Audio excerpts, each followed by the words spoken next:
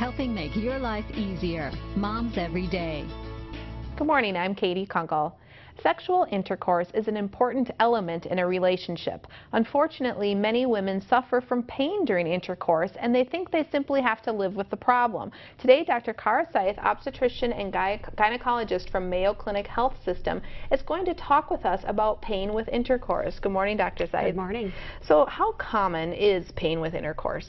It is very common. Many women will experience pain with intercourse at some point in time in their lives. Okay. Uh, some have never had intercourse without pain, while others will have new onset of pain.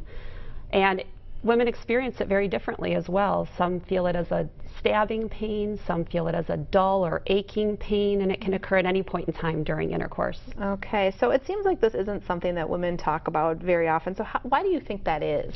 Well, I think it's a little bit embarrassing to talk mm -hmm. about it. It's not a common theme that we talk with our girlfriends mm -hmm. about or around the dinner table. But healthcare professionals are trained to be able to take a history for sexual health and to try to determine what's causing the pain with intercourse. Mm -hmm. Okay, so why is it so important to get this checked? Well, it can cause harm over time. Not only can it get worse and not better, but it can also cause problems with relationships as well as self-image. Okay, so is this an issue that can be treated? Absolutely. Um, depending upon the cause for pain with intercourse, there are lots of different treatments.